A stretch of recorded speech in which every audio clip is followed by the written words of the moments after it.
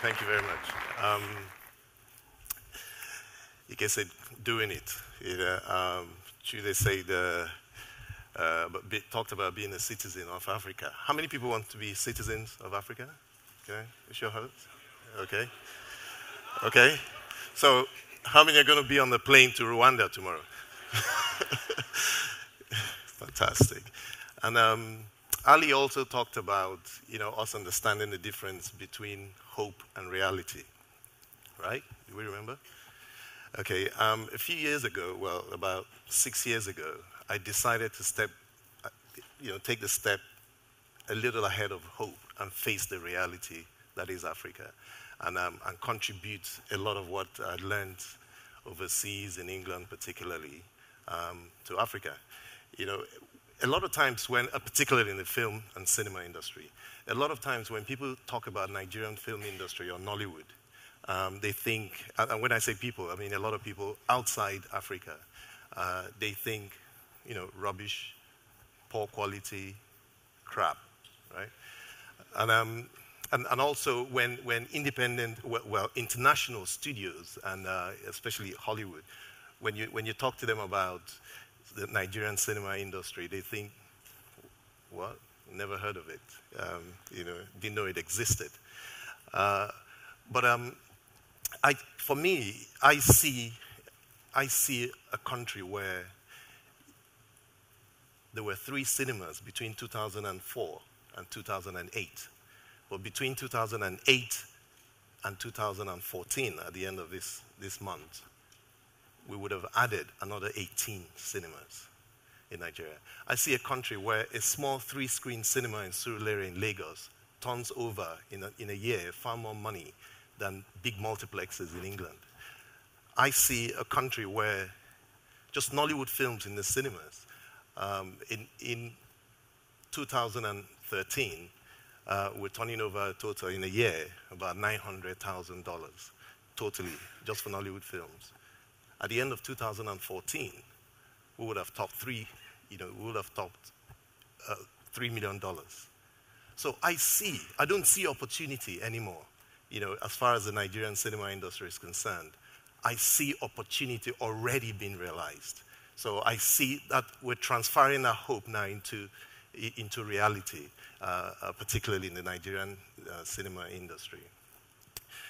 But the reason I asked, you know, how many people want to be citizens of Africa, you know, because I feel, and I speak to a lot of my friends and colleagues and family out here, that um, the thing in your head, the skill, the expertise, the talent in your hand is very vital, it's very important for Africa, and you must consider it. You know, so what's in your hand in the last six years, as we face challenges setting up cinemas in Nigeria, I, I asked my colleagues, you know, what's in your hand? We didn't have capital, we didn't have money to set up cinemas, but we had something in our hands. You know, but before I tell you a little bit more about it, the giant strides in the, in, in, the cinema industry in Nigeria, let me tell you a little bit about, you know, how I've, I've trained myself to regularly recognize um, what I've got in my hands. My name my full name is Kenechukwu Ogbonnia Mkparu. I'm the son of Chukudum Ogbonnia Mkparu of Okbuno Otolo Nnewi in Anambra State.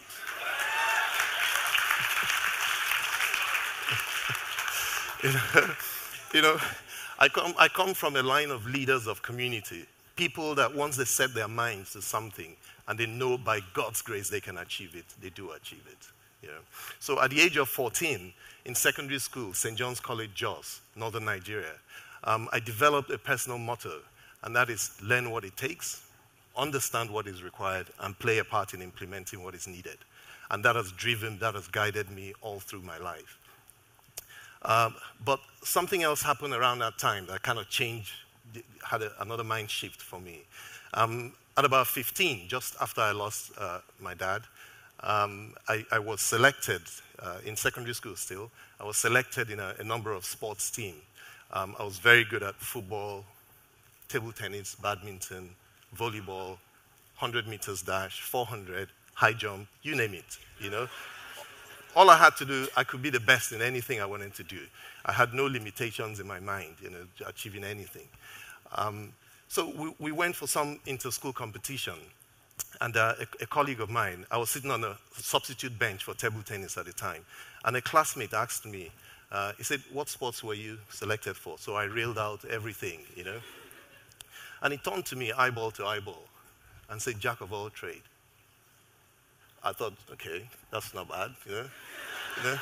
And he said, master of none. I was crushed. You know, me, master of none. You know, I was one of the best students in school. I could do anything, master of none.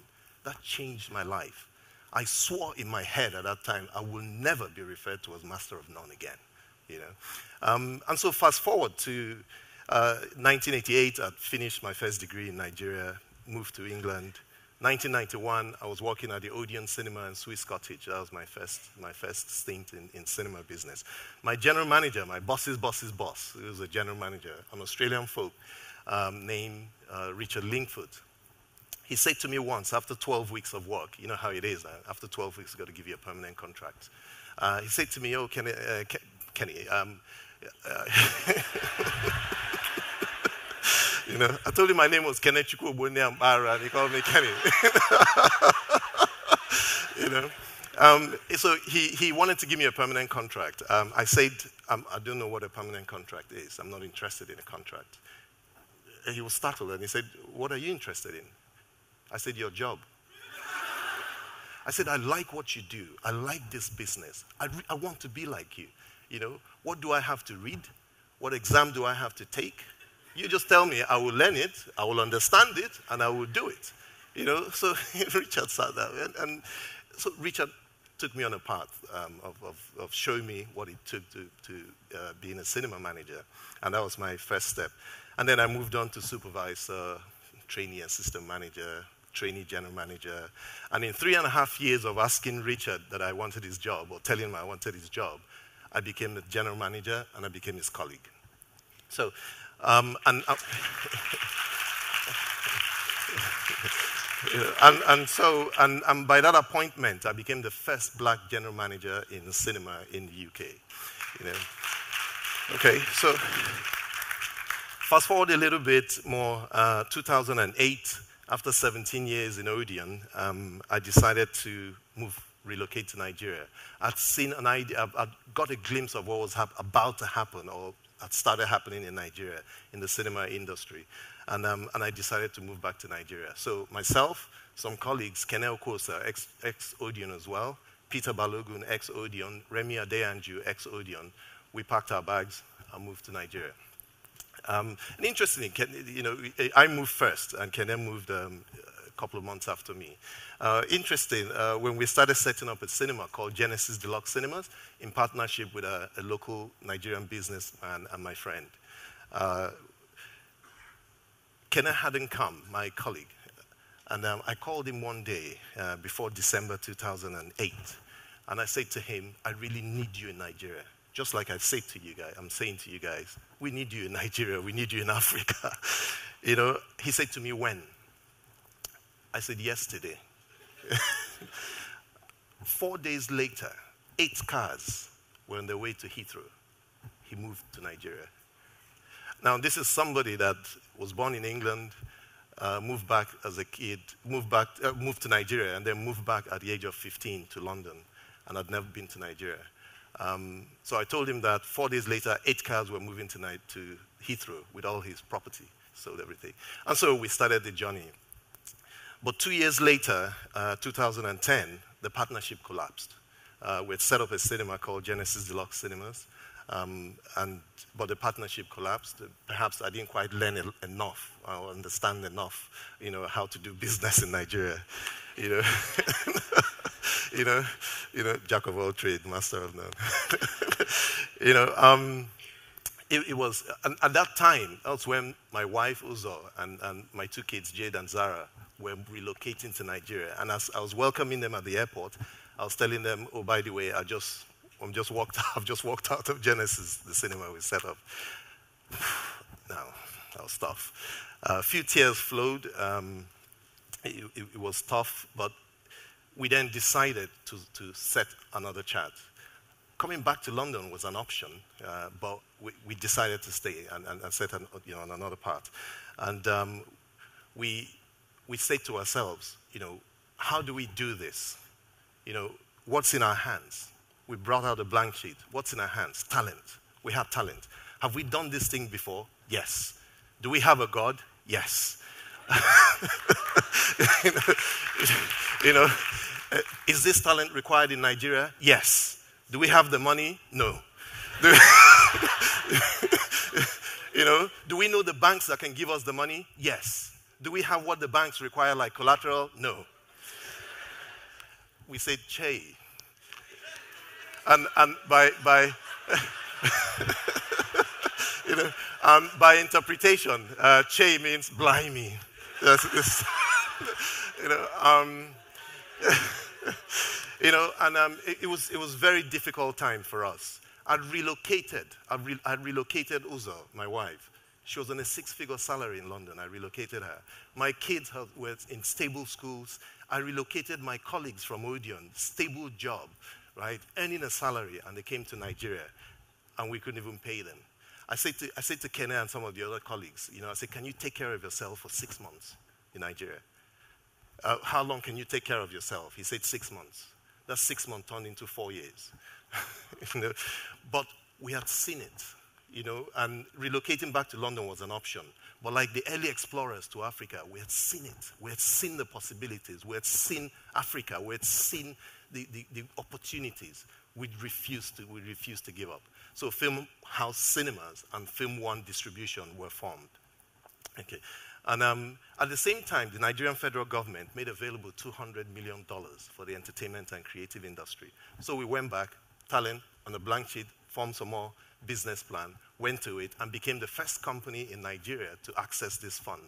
And we now started.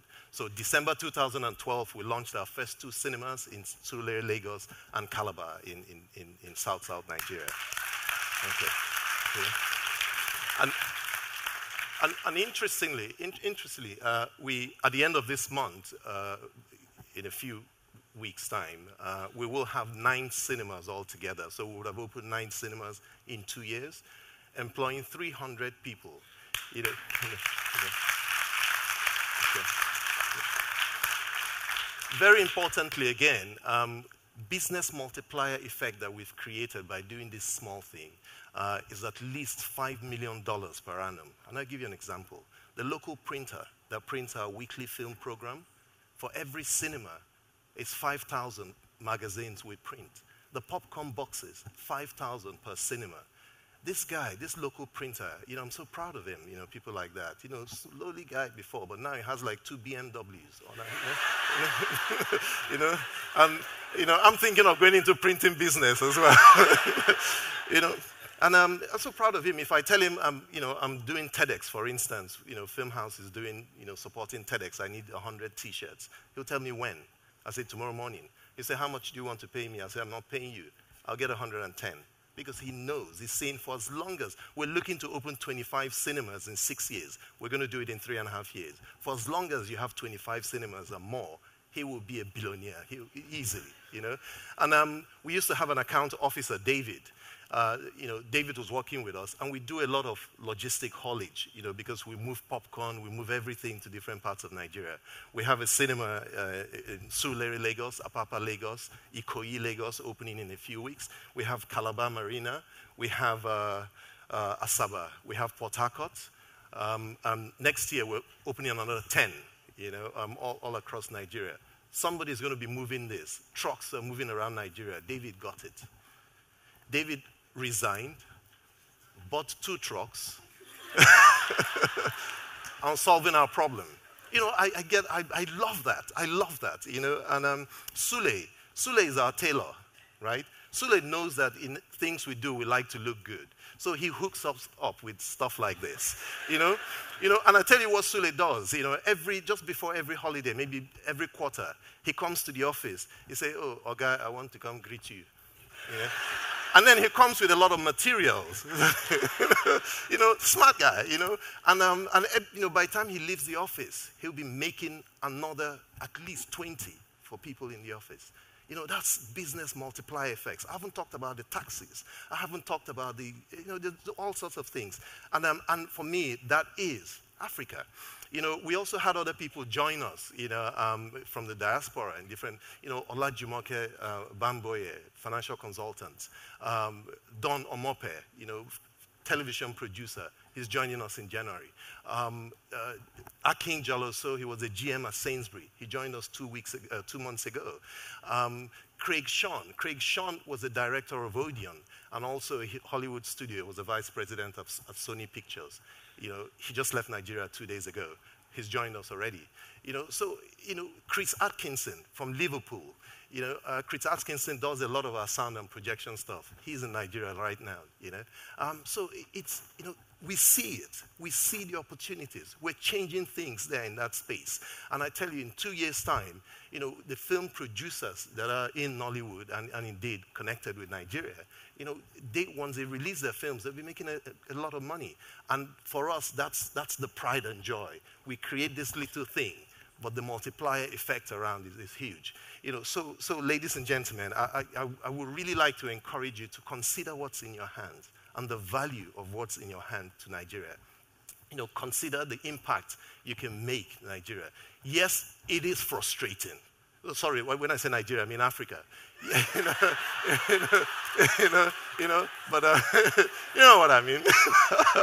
you know, you know, hint, hint. you know, you know. Um, it, you know, it, it, is, it is frustrating, you know. Um, there's a time I was so challenged, you know, when, I, when, we, when, we, when our partnership collapsed at Genesis before we started Filmhouse. I was so challenged, you know. You know, when as a man, you know, as a provider, as a father, as a leader, you're absolutely at zero level, you know, and, and you have all these people depending on you. People have moved to Nigeria depending on you. You know, you got your family depending on you. You got to make a decision. But I've seen it. I refuse to, just like the early explorers, I refuse to take my eyes away from that possibility and from, from those, those realities. And I chose to stay in Nigeria. You know, so what inspires me? I'm inspired by the story of two biblical characters. David. When David went to face the giant Goliath, yeah, David only said one thing, you know, he said, I've not fought a giant before, basically, but I've, I've, fought, a, I've fought a lion and I've fought a bear with my slingshot. And so I can take on this giant. I'm inspired by the story of Joseph. He got a vision and a dream that he'll be king. The minute he got that, he was thrown into all sorts of prisons. But one thing took him, you know, kept him going, his talent. He had a talent to tell, to interpret vision. The same thing took him to the king, Pharaoh, and he became governor. You know, so I'm inspired by all that. I'm inspired by the early explorers. You know, when they got into the shores of Nigeria and Africa, they met a jungle. They took off their dicky bow ties, put on their Wellington boots, you know, got their cutlasses and their machetes and went into the jungle. But they didn't take their focus away from the gold, the diamond, the, you, know, you know, so you know, so it is, I, when I go back to Nigeria, I don't expect air conditioners. I don't expect Leicester Square. I don't expect Piccadilly Circus. I expect a jungle. Now, when I get to, now, when I get to Nigeria and I see a Ferrari, hallelujah. you know, you know. So it, it's, it's, I would like to encourage you to consider what you got in your hand. Africa needs your talent. Um, it can be frustrating, yes. It is challenging, yes. It is tough, yes. But it's also exciting and rewarding. Thank you very much.